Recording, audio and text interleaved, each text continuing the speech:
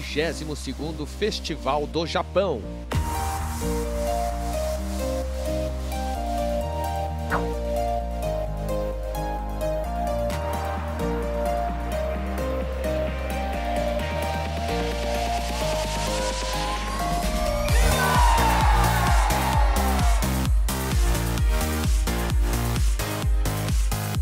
Cheio de novidades, o Festival do Japão chega à sua 22ª edição com um passeio imersivo pela cultura japonesa, do tradicional ao pop.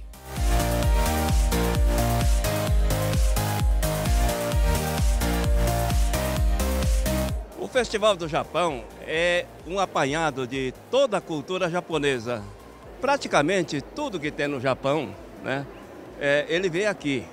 E cada visitante realiza o seu sonho neste festival. Foram três dias com muitas atrações pensadas em todas as faixas etárias. Mesmo com as baixas temperaturas, o público compareceu em peso. Foram 192 mil visitantes nos três dias de evento. Para chegar ao Festival do Japão, foi bem fácil. Teve transporte gratuito do metrô Jabaquara, além de vans equipadas para cadeirantes e pessoas com mobilidade reduzida. Caravanas de várias partes do Brasil vieram prestigiar a festa.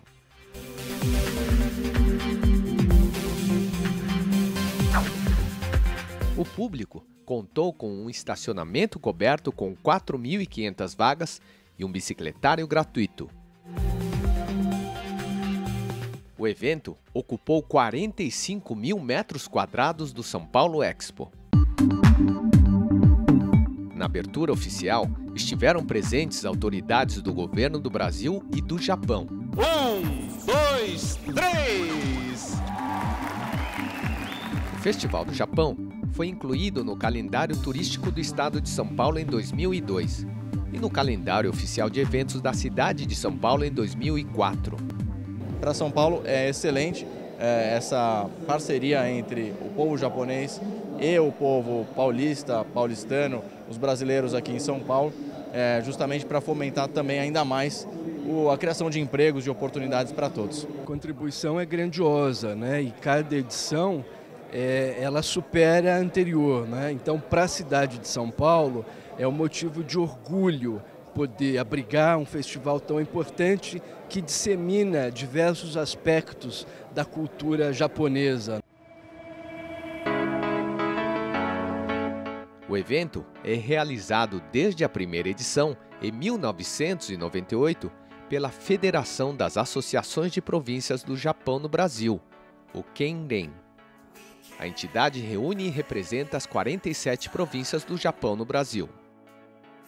やっぱり110年の昨年続けたおかげで、まあ、今年も続けられたということは大変重要だし、ね、やっぱりこれから第一歩セントセントオンジャーの111が続くというのはやっぱりブラジルはあの新しいボルソナロ政権に変わった日本は平成から令和に変わったそういう意味でもやっぱりこの日本祭りも変わっていくべきなんだけれどもやはりこの文化を伝えていくのも重要だと。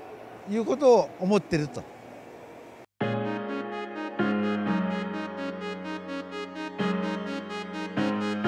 O tema deste ano foi Cultura Sem Fronteiras, simbolizando o mundo conectado, sem fronteiras, unindo as pessoas em prol da cultura.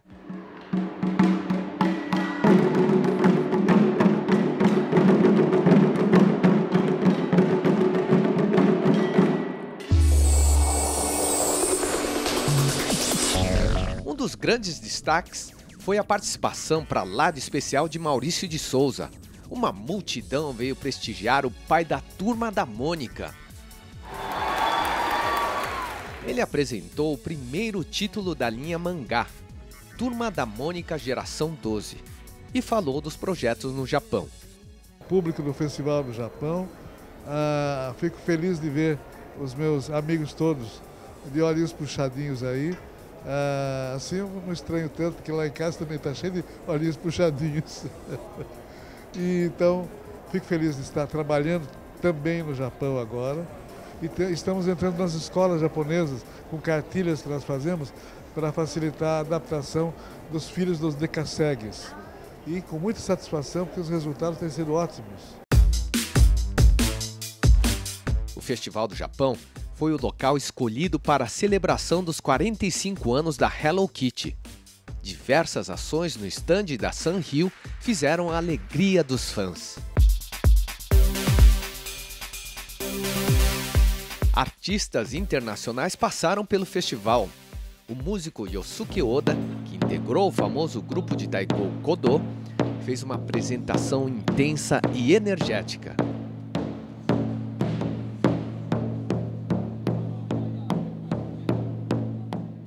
Já no espaço da Fundação Japão, o campeão japonês de Kendama, bibelô japonês, Satoru Akimoto, mostrou as habilidades que divertiram o público.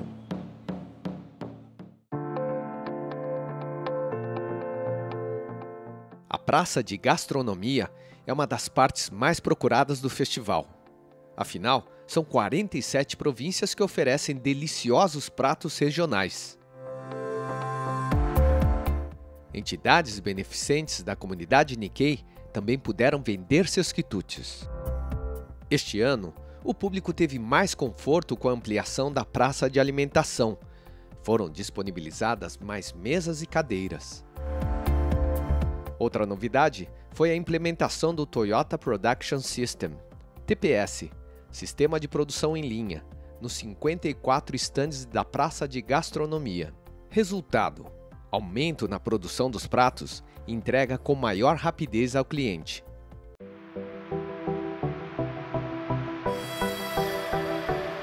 O Festival do Japão proporcionou várias atrações gratuitas para todas as idades.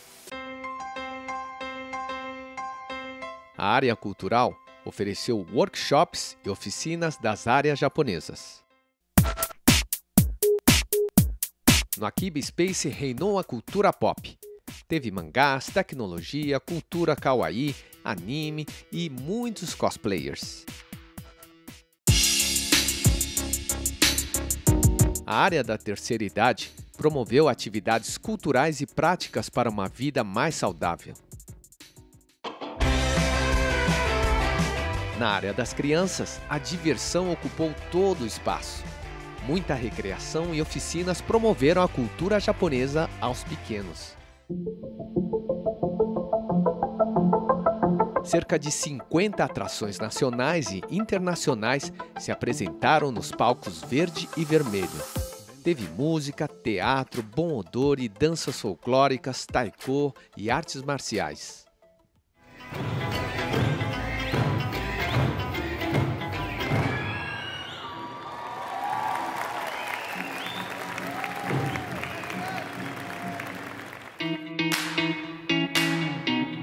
Festival do Japão também sediou o aguardado Miss Nikkei Brasil. A final nacional reuniu as representantes de todo o país. A vencedora deste ano foi a amazonense Marjorie Honda de Moraes. O Akiba Cosplay atraiu o público com as apresentações de personagens do mundo pop.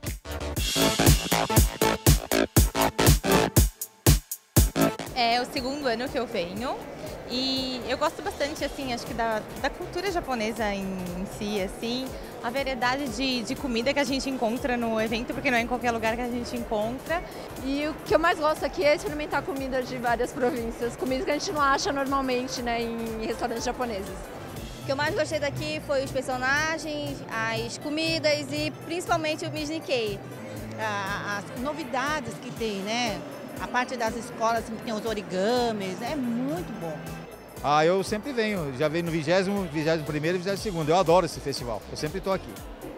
Aqui tem de bom é que a pessoa, assim, o, a comunidade japonesa, assim, praticamente se encontra, assim, né? Mesmo na, não conhecendo, mas se encontra, né?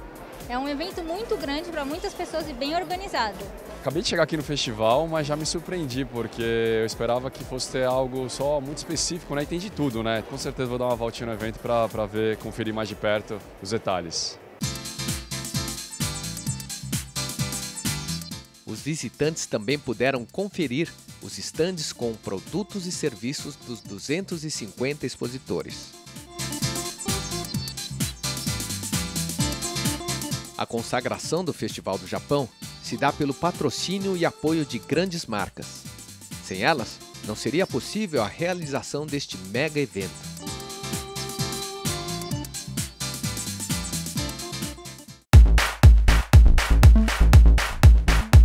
Outro suporte fundamental é a colaboração oficial do governo do Japão.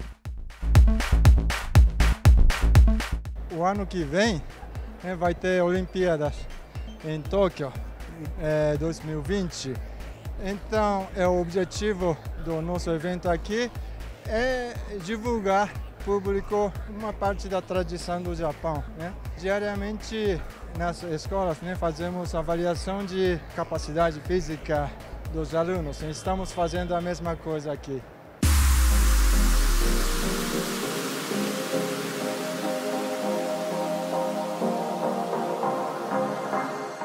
Festival do Japão, além de divulgar a cultura japonesa, investe em responsabilidade social e ambiental. Pela primeira vez, o festival fez a compostagem de todo o material orgânico gerado no evento. Outro ponto forte foi a acessibilidade. Estou adorando, a acessibilidade é ótimo, tá mil maravilha a feira. Bem espaçosa para andar, não está muito apertado. O voluntariado é marca forte no Festival do Japão, pois é um evento sem fins lucrativos. Nesta edição, foram mais de 15 mil voluntários que atuaram em vários setores do evento.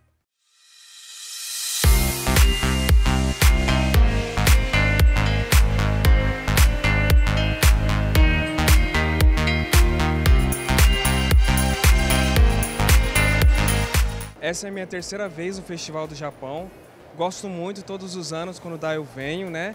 E é uma, um exemplo de cultura, de artes, é o Festival do Japão. Eles mesclam uma parte de modernidade com a cultura do passado e isso é difícil você ver isso em qualquer outro lugar e o Japão preserva muito isso e a gente acha isso interessante. É, tem a parte da Ikebana, tem que eu gosto muito, tem a, a, a parte da alimentação. Então, assim, tem muitas é, variedades e opções para todas as coisas que a gente gosta, né? Num lugar só. E é um espaço gostoso, né? De, de conhecer as crianças, conhecem aí a cultura também. Então é importante para a formação delas, né? Realmente, colônia japonesa é forte. Eu sinto orgulho. Esse japonês consegue fazer esse maravilhoso festival todo ano.